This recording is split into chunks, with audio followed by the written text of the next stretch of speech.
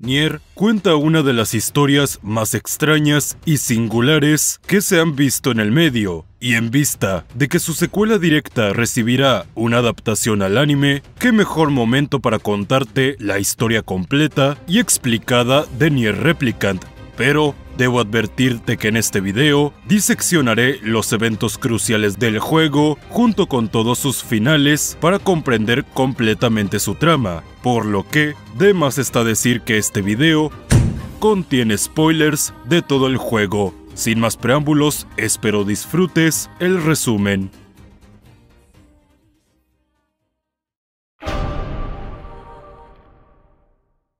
En el verano del año 2053, un joven de nombre Nier y su hermana menor Yona se refugian de una prolongada tormenta de nieve en los restos de una tienda de comestibles. Dos misteriosos libros negros yacían en el suelo cerca de ellos, y el joven Nier los patea mientras se burlan de él para que obtenga sus poderes. La pequeña Yona, por su parte, sufre de una tos incontrolable y ambos hermanos luchan por encontrar comida y sobrevivir al hostil clima.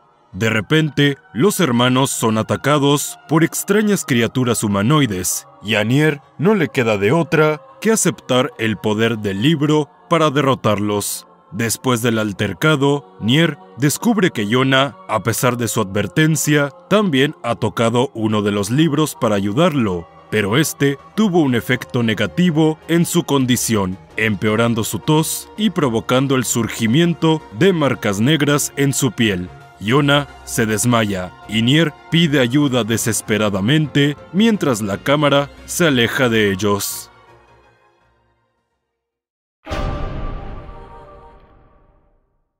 1412 años después, volvemos a ver presumiblemente al joven Nier, quien busca una cura para la enfermedad de su pequeña hermana.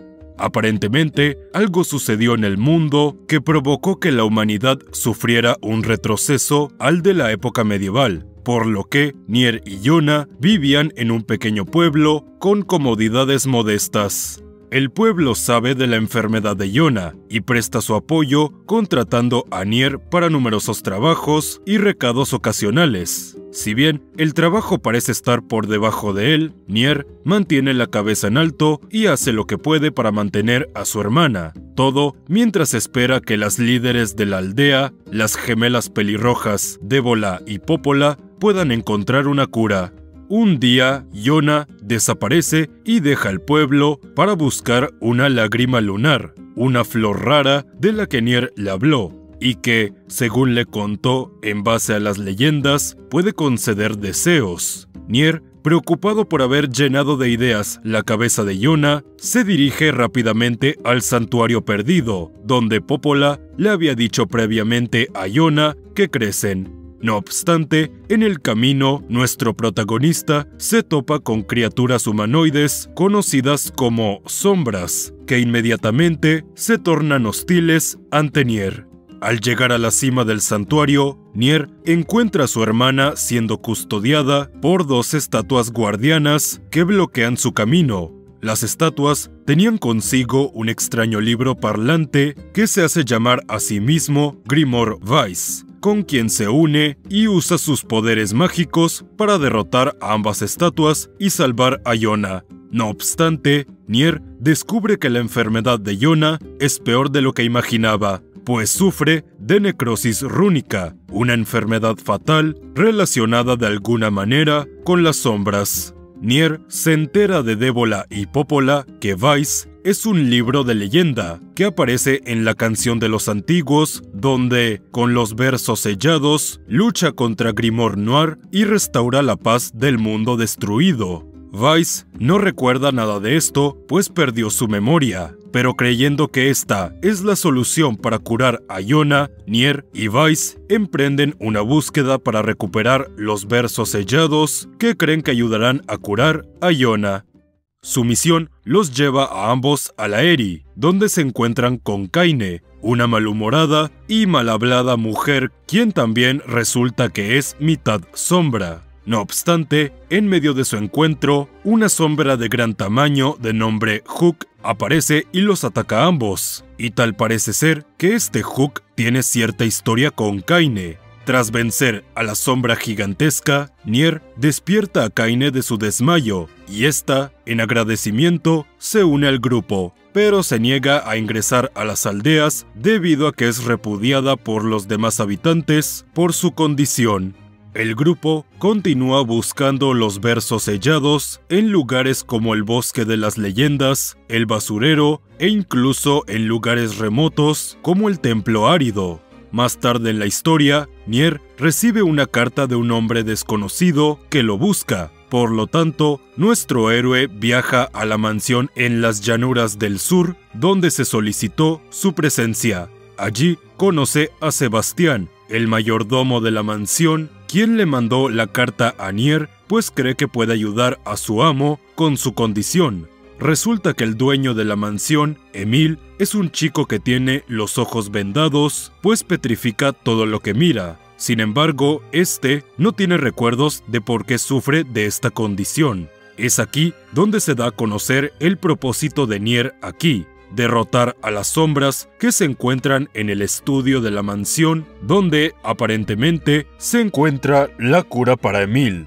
En el estudio, el grupo se enfrenta a Grimor Rubrum y tras vencerlo logran recuperar una página relacionada con la cura de la vista de Emil, que está escrita en un código ilegible. Sebastián inmediatamente se compromete a traducir el cifrado para ayudar a su amo, y Nier y los demás regresan a su aldea.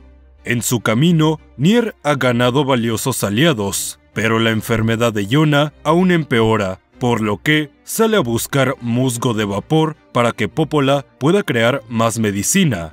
Al regresar, Nier recibe la visita de un Emil cansado y maltratado, quien les advierte de un inminente ataque de las sombras. Casi de inmediato, el pueblo es invadido por estos seres temibles liderados por una sombra de gran tamaño. Nier y Kaine no son capaces de acabar con la bestia. En consecuencia, deciden encerrarlo en el sótano de la biblioteca. No obstante, en medio de la conmoción, Yona fue secuestrada por el Shadow Lord, el líder de las sombras, quien estaba acompañado por el legendario Grimor Noir. Nier hizo todo lo posible por salvar a su hermana, pero su esfuerzo fue en vano, ya que fue superado por el Señor de las Sombras, quien se lleva a Yona consigo. No solo eso, la sombra atrapada en el sótano está a punto de escapar, pero para detenerlo de una vez por todas, Kaine le pide a Emil que la petrifique contra la puerta antes de que la sombra pueda salir y causar más daño, a lo que Emil accede de mala gana. La sombra es sellada en el sótano y la aldea es salvada, pero con el alto precio de la petrificación de Kaine y el secuestro de Yona. A pesar de la derrota, Nier jura que encontrará y rescatará a su hermana.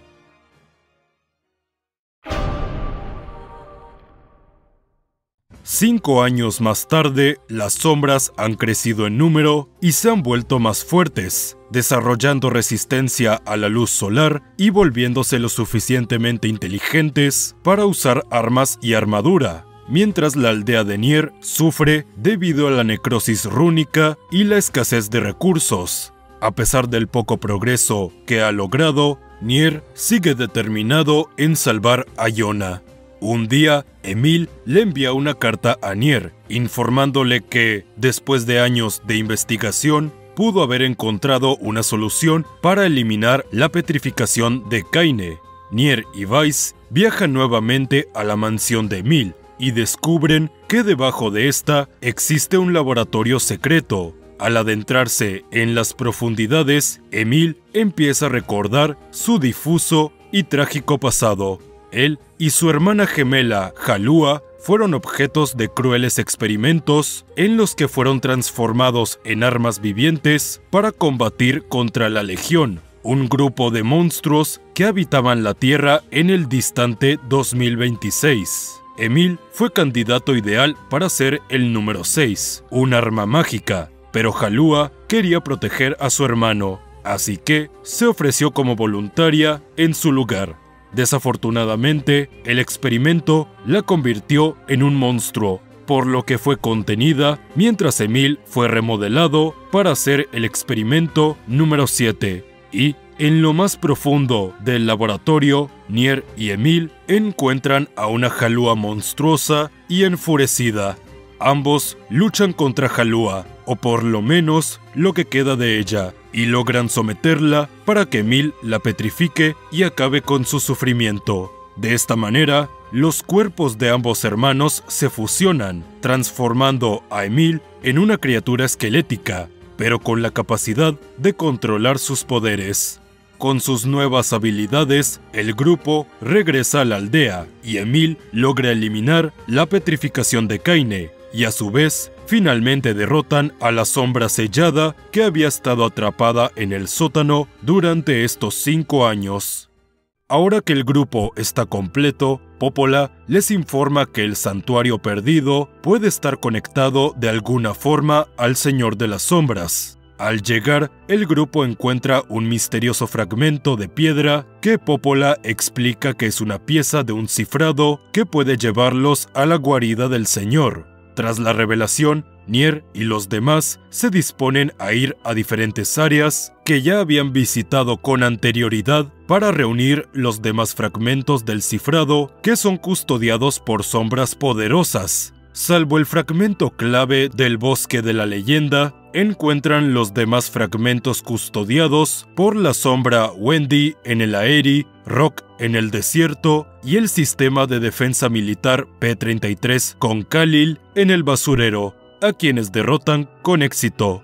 Con todos los fragmentos a la mano, el grupo regresa al santuario y finalmente pueden ingresar al castillo del Señor de las Sombras. No obstante, en su camino, Nier y los demás son interceptados por Débola y Popola, quienes le revelan la verdad a Nier y el resto del grupo. Ellas no son humanas, sino androides al servicio del Shadow Lord, creadas como parte del proyecto Gestalt, el intento de la humanidad de salvarse de una extraña enfermedad.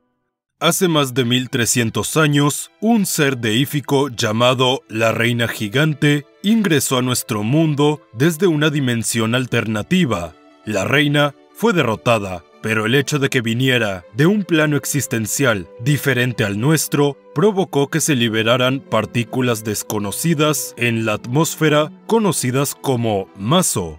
Estas partículas causaron una enfermedad contagiosa que se extendió por toda la Tierra, llamada síndrome de cloración blanca.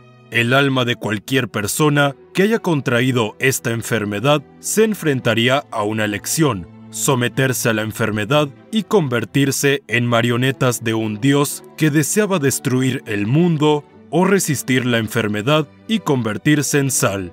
De cualquier forma, su vida como humano había terminado y los que optaron por servir al dios cruel se convirtieron en monstruos llamados Legión. En su intento por sobrevivir, la humanidad experimentó con estas partículas y descubrieron que éstas eran capaces de extraer el alma de un ser humano y almacenarlo en un recipiente para protegerla de la enfermedad. Con este descubrimiento se crearon cuerpos sustitutos llamados replicantes, con el objetivo de preservar las almas humanas mientras esperaban que la enfermedad se extinguiera. Esto se conoció como Proyecto Gestalt. A los replicantes generalmente se les daban personalidades artificiales, pero también se crearon replicantes especiales para luchar contra las legiones, lo cual causó una destrucción generalizada en todo el planeta. La terrible situación hizo que la humanidad viera al proyecto Gestalt como la única solución, de modo que se llevó a cabo una gestaltización generalizada Así, se crearon androides para supervisar a los replicantes y garantizar la finalización del proyecto. Es aquí también donde Weiss finalmente recupera su memoria y su propósito designado en todo esto. Y es que algunas almas humanas también se colocaron en grimorios, a los que se les otorgó un gran poder mágico. Uno de estos, Grimoire Noir, se utilizó para representar el proceso de gestaltización, pues al tocarlo separaría el cuerpo del alma, lo que permitiría que se almacenara en otro lugar. Por ello, se creó un segundo tomo, Grimoire Weiss, con el que, combinado con el poder del primer grimorio, obligaría a todas las almas separadas a volver a sus cuerpos cuando la enfermedad hubiera desaparecido. Sin embargo, el proyecto Gestalt fue un fracaso, pues la separación provocó que los humanos recayeran y perdieran su conciencia junto con la habilidad de comunicarse, convirtiéndolos en lo que conocemos como sombras. Con el paso del tiempo, las legiones fueron derrotadas y el mundo eventualmente se purificó. Pero algo inesperado sucedió. Los replicantes, que habían sido diseñados para ser caparazones de sus correspondientes almas o también conocidos como gestalts, desarrollaron su propia sensibilidad formaron relaciones genuinas y construyeron comunidades propias. En otras palabras, las sombras que Nier y los demás han estado matando hasta este punto fueron alguna vez seres humanos y las personas que hemos conocido en nuestra aventura, incluyendo el propio Nier, no son más que los recipientes sin alma del proyecto Gestalt cuando se purificó el mundo, los gestalts o sombras buscaron reunirse con sus replicantes correspondientes en un intento de regresar a sus cuerpos, y los replicantes, ahora con conciencia propia y creyendo que son seres humanos genuinos, los resistieron sin saber sus verdaderas intenciones, lo que condujo a una batalla entre replicantes y gestalts.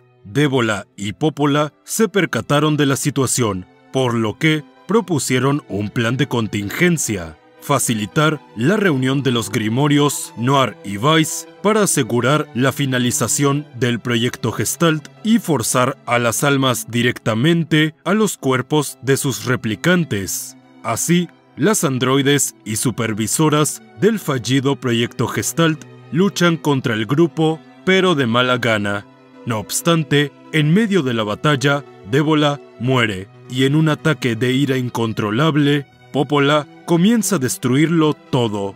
Por ello, Emil decide sacrificarse para derrotarla y salvar a sus amigos. Devastados por la pérdida de su compañero, Anier, Kaine y Weiss, no les queda de otra que continuar y no dejar que la muerte de Emil sea en vano. Y así, eventualmente llegan a la cámara del castillo, donde encuentran a Iona en éxtasis, pero son interceptados rápidamente por Grimoire Noir y el Shadow Lord. Tras vencer a Grimoire Noir, nuestros héroes finalmente se ven cara a cara contra el Señor de las Sombras. No obstante, a mitad de la pelea, Iona se despierta llamando a su hermano, pero en vez de acudir a Nier, se dirige hacia el mismo Señor de las Sombras. Es aquí donde se nos presenta la segunda gran revelación del juego, que el Shadow Lord es en realidad el Nier original que conocimos en el prólogo y el Nier con el que hemos jugado la mayor parte del juego es su replicante. Durante la implementación del proyecto Gestalt en el año 2053, Nier y Yona fueron atraídos a un plan de apoyo para darle comida y vivienda a los empobrecidos, pero en realidad estaban allí para ser conejillos de indias y encontrar a un ser humano que pudiera retener su conciencia después del proceso Gestalt. Nier y Yona huyeron de las instalaciones, pero al esconderse en la tienda abandonada, fueron atacados por Gestalts, y en un intento desesperado por salvar a Yona, Nier tocó a Grimoire Noir, lo que instigó su propia gestaltización. Pero, en lugar de recaer, Nier fue de hecho el primer humano que retuvo su conciencia y se convirtió en un gestalt estable, Lamentablemente, no sucedió lo mismo con Yona, pues cuando tocó el libro, sucumbió al mismo destino que los demás humanos antes que ella. Nier regresó a las instalaciones en busca de una cura para Yona. Como fue la primera persona en evitar una recaída, pudo darle al proyecto una nueva y genuina esperanza de éxito, por lo que se ofrecieron a congelar criogénicamente el cuerpo de Yona a cambio de su cooperación. Al ser el Gestalt original, Nier pudo separar con éxito las almas humanas de sus cuerpos y mantenerlas libres de enfermedades hasta que cesó la pandemia. Fue así como todos los gestalts creados después se vincularon a él para mantenerse estabilizados. Por lo tanto, como la clave de toda la operación, Nier se convirtió en el Señor de las Sombras y en el último bastión de la humanidad. Si bien esto mantuvo estables a los Gestalts, Nier se dio cuenta de que la recaída de Yona no se podía detener. Por lo tanto, secuestró a la replicante Yona para devolver a su hermana a su cuerpo original. Además, resulta que la necrosis rúnica no es en realidad un virus, sino un mal funcionamiento del cuerpo de un replicante causado por la recaída de su corresponsal Gestalt cosa que le estuvo pasando a la Iona replicante desde el inicio del juego. La Iona original, ahora despierta en su cuerpo de replicante, se acerca a su querido hermano, pero el conmovedor reencuentro entre ambos se torna rápidamente triste, pues Iona le dice que no puede quedarse con el cuerpo de su replicante, pues aún escucha su llanto que implora ver a su hermano, la Iona Gestalt decide suicidarse saliendo a la luz del sol para dejarle su cuerpo al de su replicante. Pero el Señor de las Sombras, en su dolor, da una lucha final desesperada. Al final, el Señor de las Sombras es derrotado, pero Vice, al usar toda su magia, pierde su forma física y se despide de su viejo amigo. Después de un largo viaje e incontables pérdidas, el replicante Nier finalmente logró rescatar a su hermana y acabar con el Shadow Lord, pero al hacerlo también extinguió a la raza humana por completo, pues sin el gestalt original que mantenía estables a los demás, tanto los replicantes como los gestalts restantes están condenados a extinguirse. Pero la historia de Nier aún no ha llegado a su fin. Una vez concluida la trama principal, es posible desbloquear uno de cuatro finales distintos dependiendo de la ruta en la que te encuentres. En tu primera partida obtendremos el final A, en el que Nier y Yona se reencuentran después de cinco años y Nier le pregunta a Kaine si quiere quedarse con ellos, a lo que ella se niega diciendo que tiene cosas que hacer. La escena cambia a Nier y una Yona jóvenes en su pueblo sentados en una colina cerca de su casa y ambos se acuestan en la colina. La escena cambia de nuevo, mostrando al Señor de las Sombras y una Yona mayor abrazados felizmente insinuando que los hermanos originales finalmente se reunieron. El final B se desbloquea en tu segunda partida, el cual comienza igual que el final A, con la diferencia de que en esta ocasión vemos al Nier original llorando solo en un vacío blanco mientras lamenta todas las dificultades por las que hizo pasar a Yona. De repente, ocurre un pequeño flashback en el que Yona y él se encuentran solos en la tienda de comestibles que ya conocemos. Nier le dice que no tiene hambre, mientras ella trata de obligarlo a comer algo. La escena vuelve atrás y Yona, en su forma joven, le agradece a Nier por estar siempre ahí para ella. Por su parte, Emil quien sobrevivió a la explosión contra Popola, se estrella en el desierto. Ahora, siendo solo una cabeza, sale a buscar a Nier y Kaine, rebotando y rodando en la distancia. El final C, que se obtiene en tu tercera partida, es una continuación inmediata del final A y B, en el que Kaine comienza a sucumbir ante su parte sombra. A consecuencia de la desaparición del Shadow Lord, todas las sombras empiezan a recaer, y esto sucedió casi de inmediato en el caso de Kaine. Cuando pierde el control de su mente, a Nier no le queda más opción que luchar contra su amiga.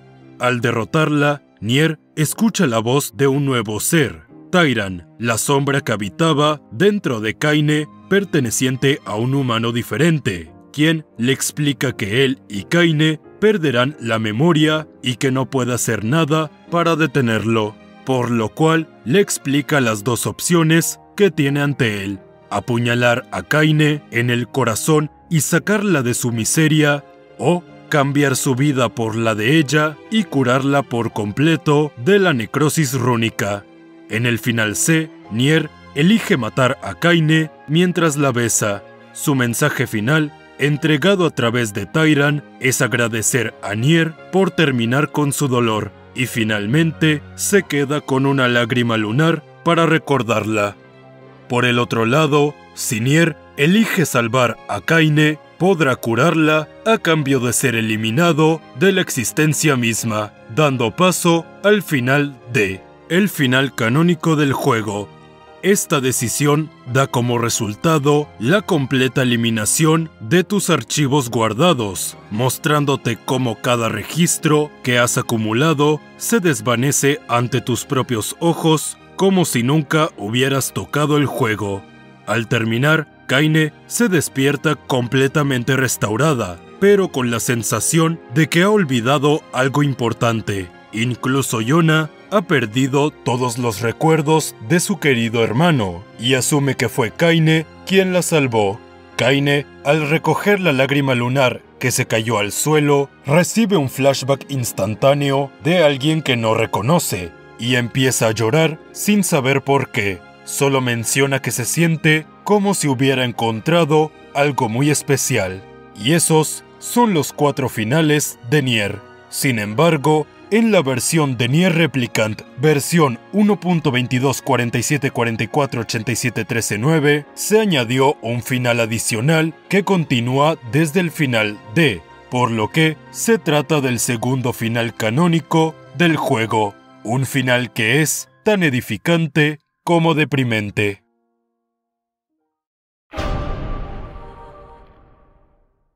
Aquí es donde las cosas se ponen aún más locas. Para llegar al final E, después de ver el final D, debes crear un archivo nuevo con un nombre nuevo y jugar nuevamente. Tu progreso en esta partida es el mismo que el de tu aventura anterior. Ayudas a los habitantes de la aldea para conseguir medicina para Yona, esta enferma gravemente y viajas a la Eri hasta la batalla contra Hook. Pero cuando levantamos a una Kaine inconsciente tras la pelea, no es la mano de un joven Nier la que la ayuda, sino la de un Nier más adulto que se desvanece instantáneamente.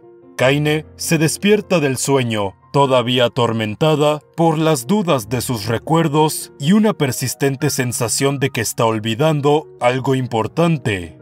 Han pasado tres años desde la muerte del Señor de las Sombras, y desde ese entonces, Kaine no ha dejado de tener estos sueños extraños de alguien que no conoce. En su ruta, Kaine se topa con un hombre enviado originalmente para investigar el asentamiento del bosque de las leyendas, pues no ha recibido noticias de sus habitantes desde hace mucho tiempo. Al llegar, Kaine encuentra a sus aldeanos asesinados y varias máquinas saliendo del árbol divino. Unas voces misteriosas le dicen a Kaine que el árbol es, de hecho, una base tecnológica de datos construida por humanos cuando surgió el síndrome de cloración blanca con el propósito de observar y almacenar recuerdos de cualquier cosa sobre el mundo. Adentrándose más en el interior, Kaine se encuentra con un par de máquinas humanoides que se identifican como los administradores, quienes confirman que ella ha condenado al proyecto Gestalt al matar al Gestalt original y que sus acciones han causado la muerte de innumerables replicantes y Gestalts, dado que el proyecto ha fallado definitivamente, para los gemelos ya no hay necesidad de que existan los replicantes, por lo que liberaron agentes para sacrificar a los ocupantes restantes del mundo. Kaine procede a tratarlos agresivamente y los gemelos responden con copias mecanizadas de Kaine que casi la habrían abrumado si no fuera por la llegada oportuna de Emil. Más allá de la matriz de maquinaria, Kaine y Emil se topan con una extensión completamente blanca que presenta un paisaje urbano muy parecido al viejo mundo, así como la cámara en el castillo del Señor de las Sombras. Kaine se defiende del asalto del cubo negro en la habitación y con su golpe final, de alguna manera es enviada dentro del ciberespacio. Aprovechando el artificio, los gemelos atacan a Kaine, volviendo sus recuerdos en su contra, culminando en una revancha contra Hook. Es aquí donde se nos revela que Hook en efecto, ya tenía historia con Kaine, pues fue el responsable de la muerte de su abuela, quien, además, la dejó lo suficientemente mal herida en el ataque como para ser poseída por la sombra Tyran, dejándola en el deplorable estado en el que la conocimos por primera vez. Al borde de la derrota, Kaine recibe la ayuda de Grimor Weiss, quien se manifiesta por última vez con su poder combinado, ambos logran derrotar a Hook por última vez. La oleada de poder abruma a los administradores y el área circundante, dejando a Kaine en la zona más profunda del árbol, el almacén de los recuerdos del mundo, donde nada es olvidado, y en medio de la habitación yace su ser querido. Tras recuperar sus recuerdos y recordar nuevamente su nombre, el árbol restaura el cuerpo de Nier y florece en una colosal lágrima lunar sobre el paisaje, con Kaine abrazando a la persona que más aprecia. Nier, Kaine y Yona finalmente pueden estar juntos, pero solo tienen una cantidad indeterminada de tiempo antes de morir pues sin el gestal original, los gestals restantes recaerán tarde o temprano, y sus respectivos replicantes desarrollarán la necrosis rúnica, llevándolos a su inevitable muerte. El mundo simplemente está condenado a desaparecer en la próxima generación. Emil, por el otro lado, como trascendió su humanidad, prevalecerá cuando los demás se hayan ido, por lo que este es un final feliz a corto plazo. Nier Replicant hace todo lo posible para ilustrar cómo las acciones que parecen virtuosas para algunos son monstruosas para otros, y todo depende del punto de vista.